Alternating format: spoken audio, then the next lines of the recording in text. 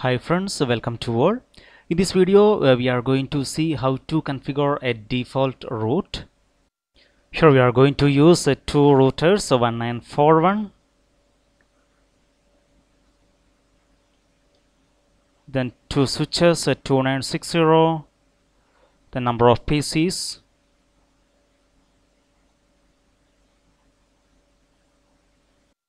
now we will rename these devices here we have r1 this is r2 here we have s1 and this is s2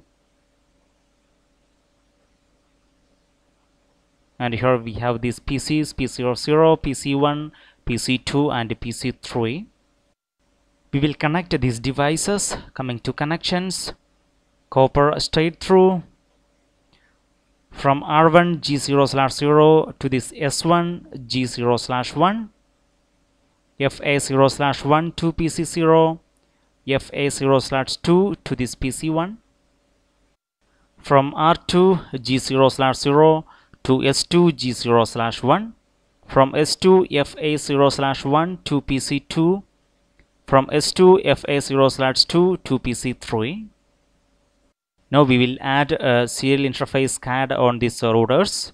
Coming to R1 then we will switch it off coming to this module we are going to add this high-speed WAN interface card. Then we will switch it on. We will repeat uh, the same steps on this uh, router R2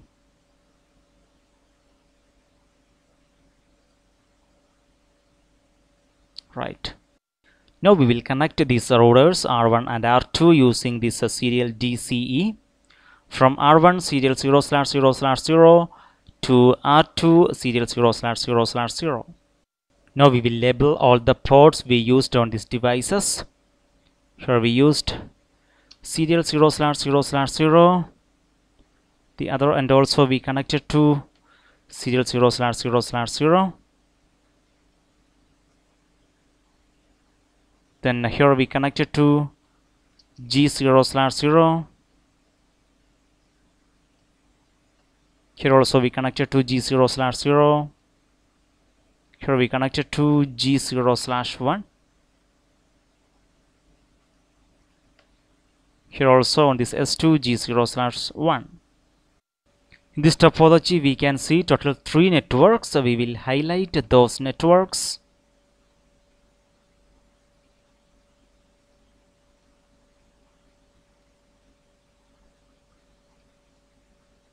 here we can see one network.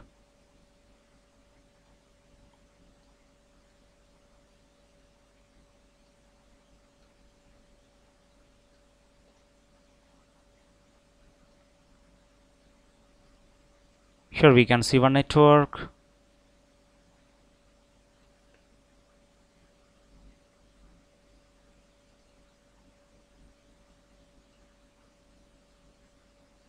and here we can see one network.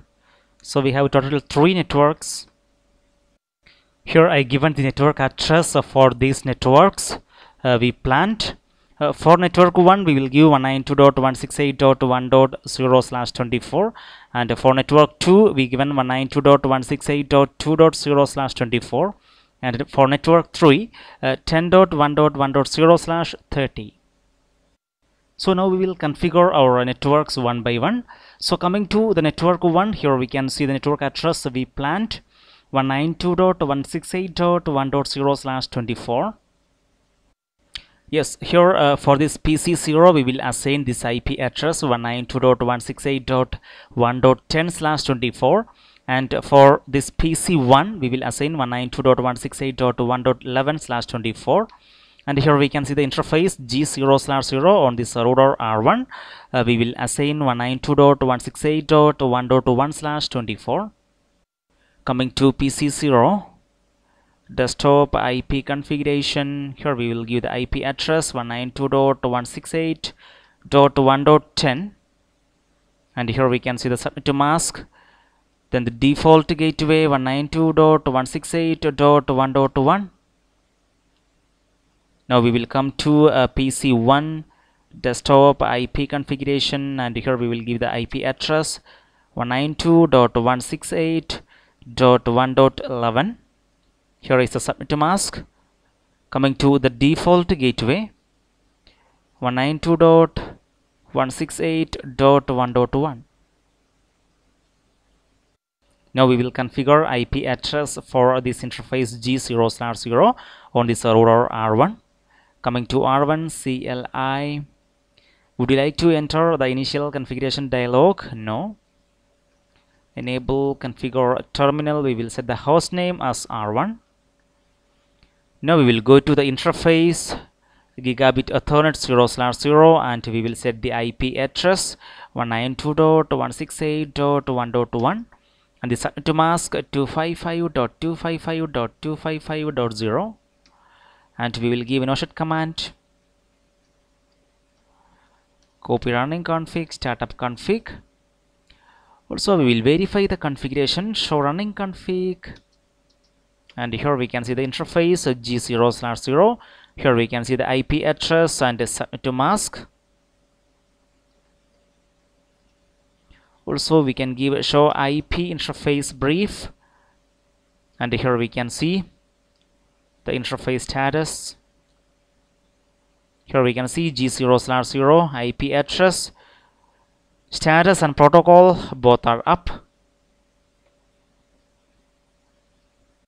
Now we will verify the connectivity in this network 1 we will ping from pc0 to pc1 coming to pc0 command prompt.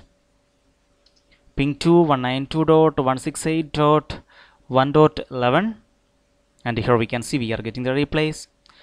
Now we will try to the default gateway. Ipconfig slash all. And here we can see default gateway. Be configured in this uh, PC so here we will uh, ping to this default gateway. 192.168.1.1 and here we can see we are getting the replies now we will ping from PC1 to its default gateway. Ping to 192.168.1.1 and here we can see we are getting the replies.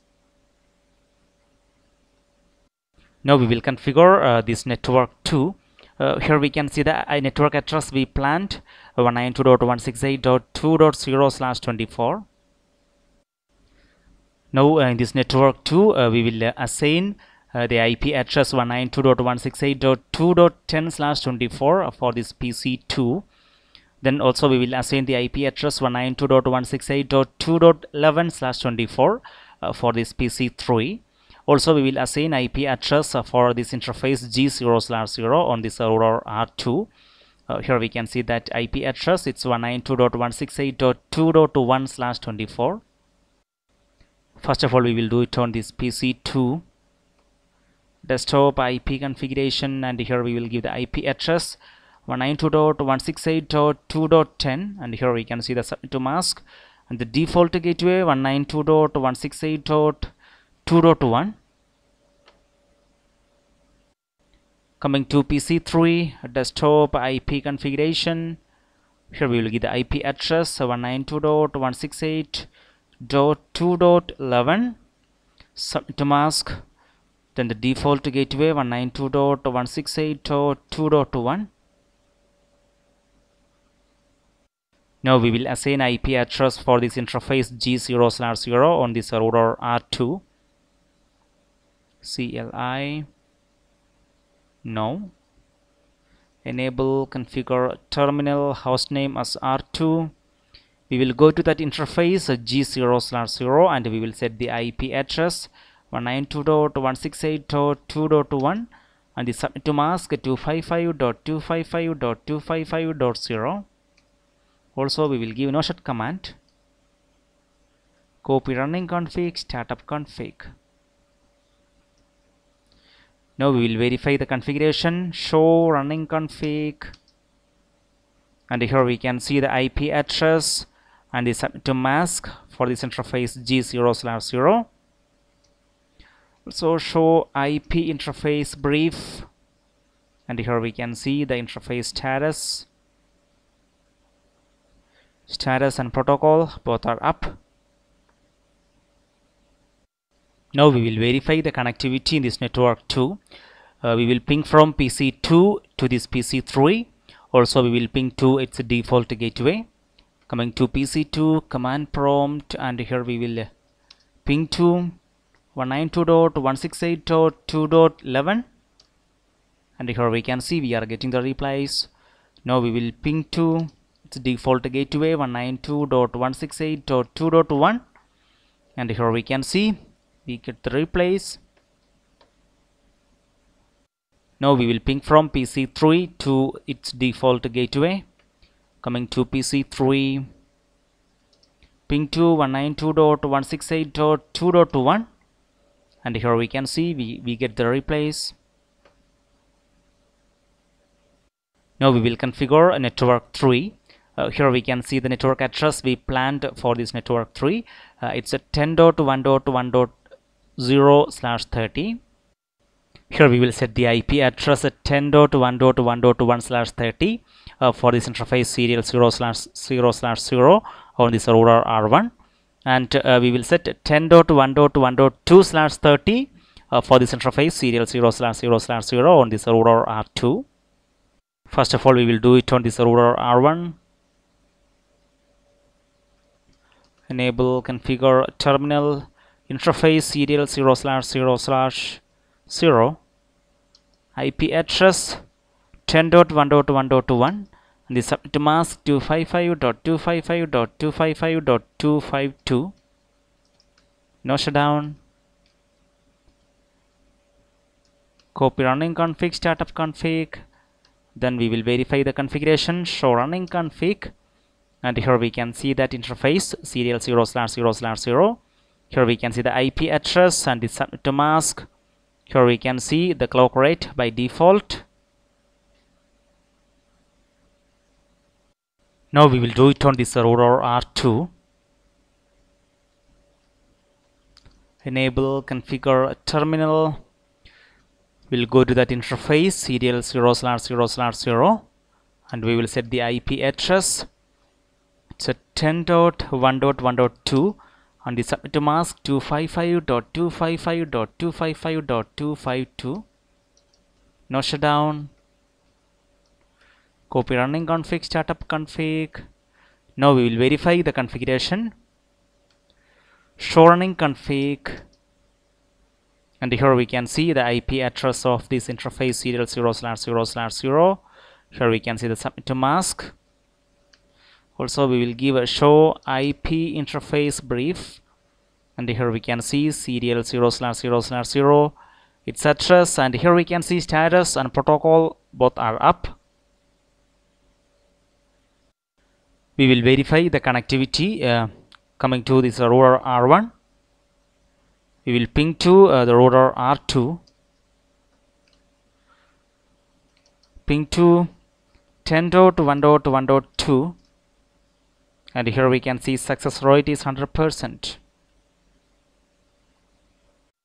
well we completed uh, all the interface configurations uh, on these routers Uh, considering this uh, router R1 uh, here we can see two directly connected networks and uh, one remote network. And coming to this uh, router R2 here also we can see two directly connected networks and one remote network. We will verify these directly connected networks on each routers. Coming to R1 CLI here we will give a show IP route connected and here we can see uh, those two directly connected networks. And coming to this router R2 show IP route connected. And here also we can see uh, the two directly connected networks. Now we will verify the connectivity uh, from this network 1 to this network 2 it won't communicate uh, because uh, this R1 is unaware of uh, this network that is network 2 and R2 is unaware of uh, this network that is network 1 anyways we will uh, ping from uh, any one of the PC from network 1 to any one of the PC network 2 we will ping from PC0 to PC2 coming to PC0 desktop command prompt. Ping to 192.168.2.10 and here we can see reply from 192.168.1.1 destination host unreachable. We are not getting the reply. Request timed out.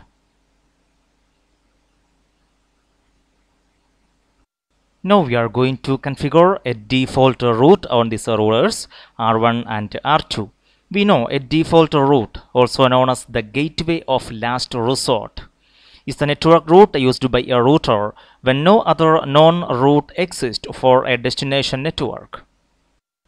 While configuring this default route on this R1 and R2 we are going to use the exit interface. So here on this R1 here we can see the exit interface that is serial 0 slash 0 slash 0 and also R2 we can see uh, serial 0 slash 0 slash 0 so first of all we will configure on this router R1 coming to R1 CLI configure terminal. Here we are going to give IP route destination prefix we will give 0 dot 0 dot 0 dot 0 in the destination prefix mask also we will give 0 dot 0 dot 0 dot 0 then the exit interface already we have seen that serial 0 slash 0 slash 0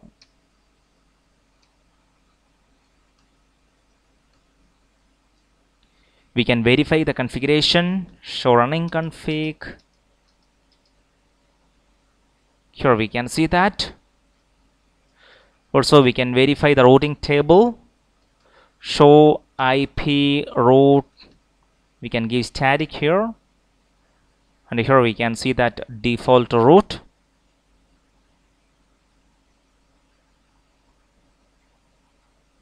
Now we will do it on this router R2 configure terminal IP route 0 dot 0 dot 0 dot 0 space 0 dot 0 dot 0 dot 0 space serial 0 slash 0 slash 0 copy running config startup config. We can verify the configuration show running config. Here is that. Also we will check the uh, routing table of this router R2 we have to give a show IP route. We will give static. And here we can see that a default route.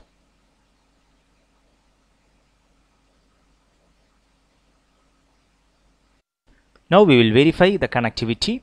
We will ping from this network 1 to this network 2 coming to PC0 command prompt. We will ping to PC2 and here we can see we are getting the replies now we'll ping to PC3 it's a 2.11 and here we can see we are getting the replies. Now we'll come to PC1 desktop command prompt. Ping to 192.168.2.10 sure we are getting the replies. Now we'll ping to PC3 it's a 2.11 it's successful. So here every device uh, now uh, able to ping every other devices. Well in this video we have seen uh, how to configure a default route. Here we can see all the show commands we used here. Also we can see the interface configurations on each routers. This is for R1 and here we can see uh, R2 configuration. And here we can see the default uh, uh, route configuration we done on R1 and R2 friends if you have any doubt regarding this topic please comment below. Also if you like my video give a thumb and share with your friends. And if you like to get these type of videos in future consider subscribing. Thank you.